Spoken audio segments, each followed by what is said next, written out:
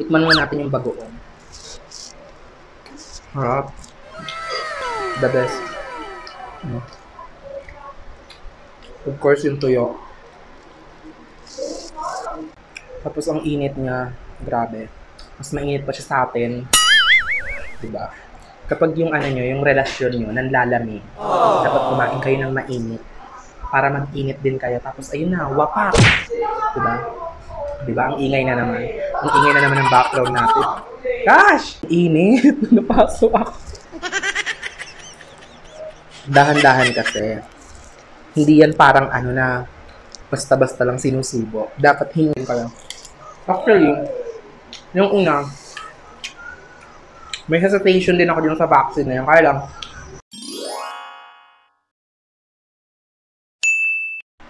Hi guys! Welcome back to our YouTube channel at muli na namang nagbabalik ang ating Gwendowing para sa isa na namang another na kainan serye. So ngayon po is ayan, bagong ligo tayo at fresh na fresh. Charing. So ngayon kasi umuulan. So ayan, nakita nyo naman kung ano yan. Charing. So ito po ay ano, Japan-Japan noodles. So you heard it right. Charing. May pag-English tayo ngayon, di ba? So, ayun, Japan-Japan na noodles to and ano lang, gusto ko siyang i-share sa inyo and gusto ko kayong patakamin. Chari.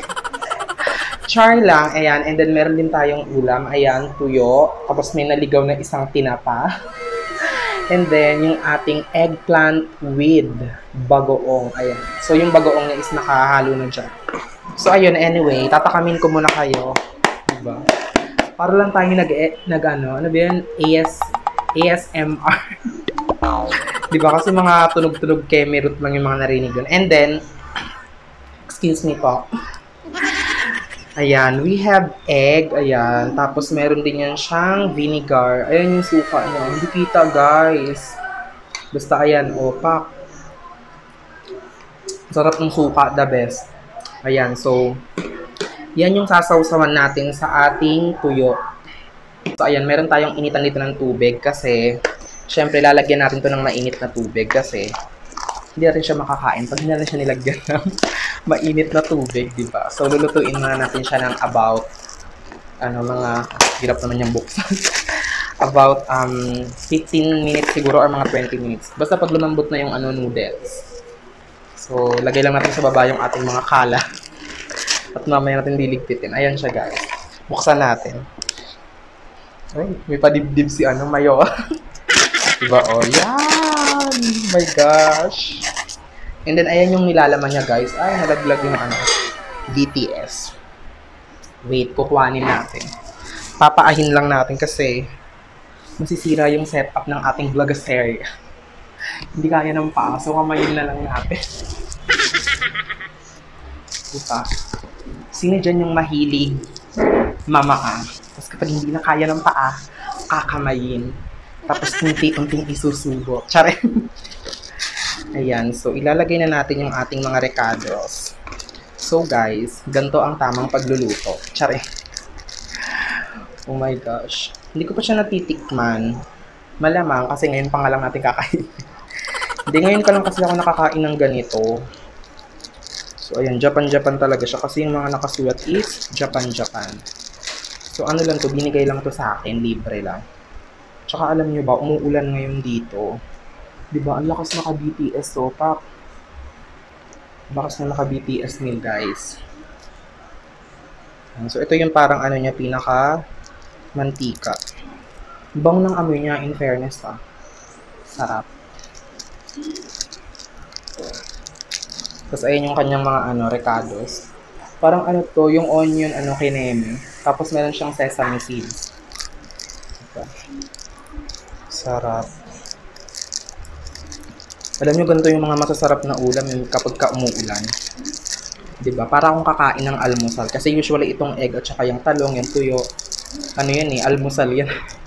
Pero di ba ang sarap. Ganun yung mga masasarap na ulam kapag once na umuulan talaga.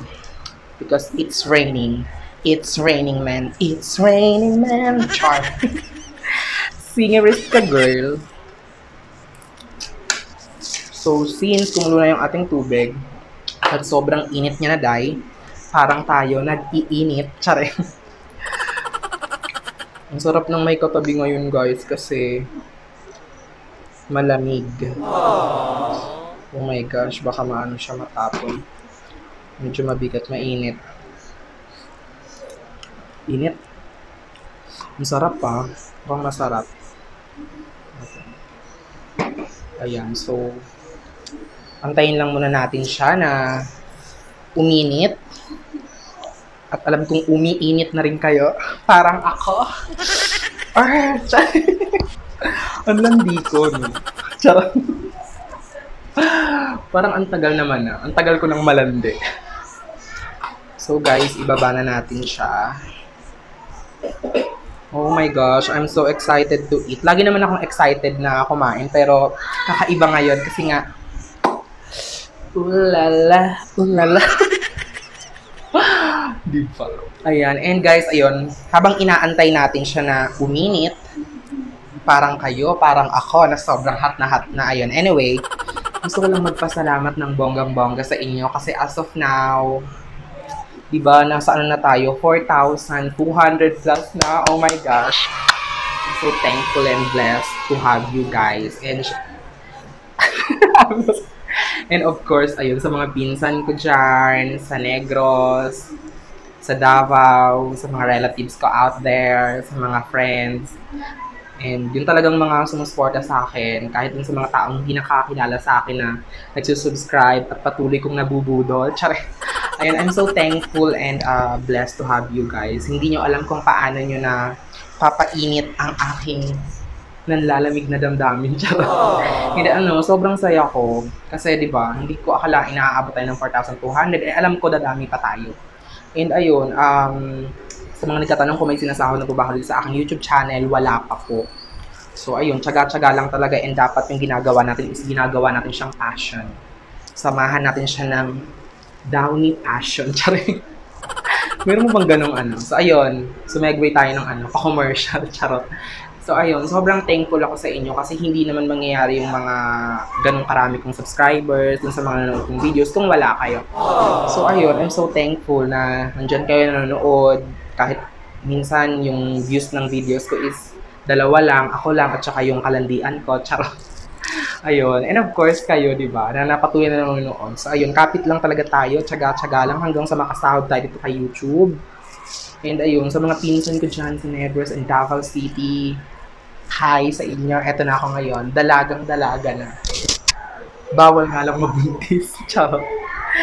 Ayun, and of course sa aking ninang, ano to? Pabati series. so ayun, kain na tayo guys. Kasi parang, ano na siya, lumambot na siya. Dead ma tayo sa mga maingay. So guys, let's eat. Kumain na rin kayo umuulan ngayon and ito talaga yung masarap na ulam kapag kayong weather is ganitong umuulan. Tikman mo natin yung bagoong. Harap. The best. Mm. Of course, yung tuyo.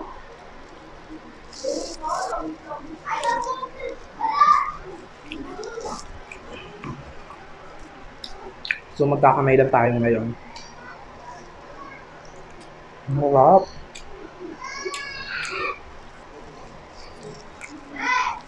Dami.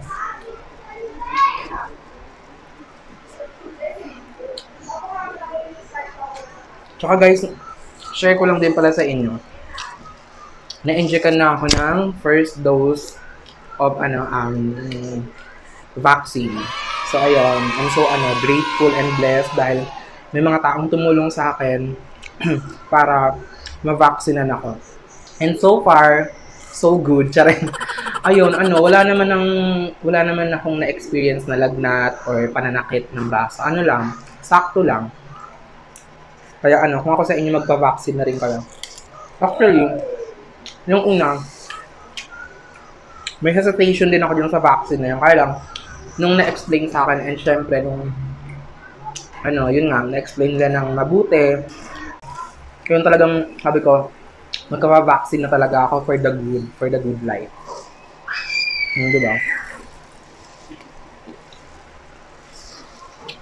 Na-vaccine ako nung Monday. And ngayon is Wednesday. So, parang 3 days na siya.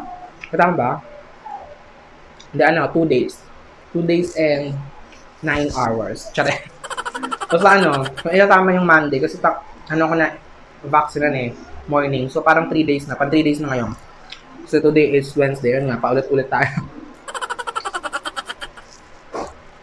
Sarap guys, kain tayo.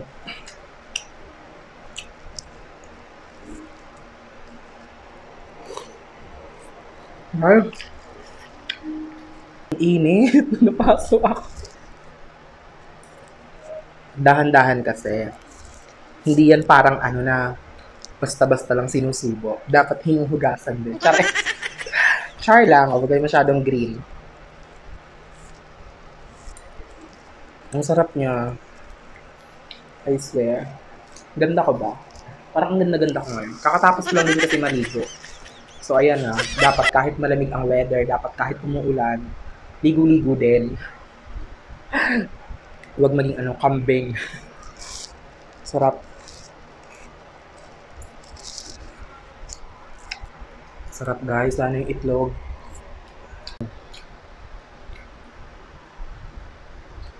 Ayan yung bagoong. Yung bagoong kasi, hinalo ko na dun sa talong. Kain tayo, ang sarap.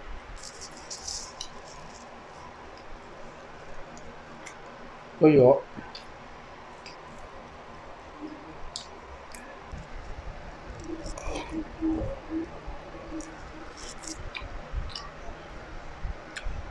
Tapos ang init niya, grabe. Mas mainit pa siya sa atin. Diba? Kapag yung ano nyo, yung relasyon nyo, nanlalamig, dapat kumain kayo ng mainit para mag-init din kayo. Tapos ayun na, wapak! Diba? Diba? Ang ingay na naman. Ang ingay na naman ng background natin. Gosh! Basta ganun na. Ulitin ko ulit. Pag yung relasyon nyo nanlalamig na, kumuha kayo ng noodles, lutuin nyo, kailangan yung may sabaw. Painitin nyo ng painitin para pag nag-init na kayo parehas, yun na. Pak na, pak na.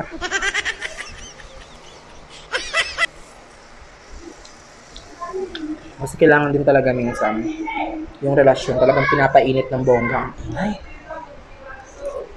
Huwag nga kayo mainga. Maldita yun. Ingay talaga dito guys, promise. Ganun lang, kapit lang tayo sa mundo ng pagbablog. Kausap ko lang partner ko. Nag-uusap kami.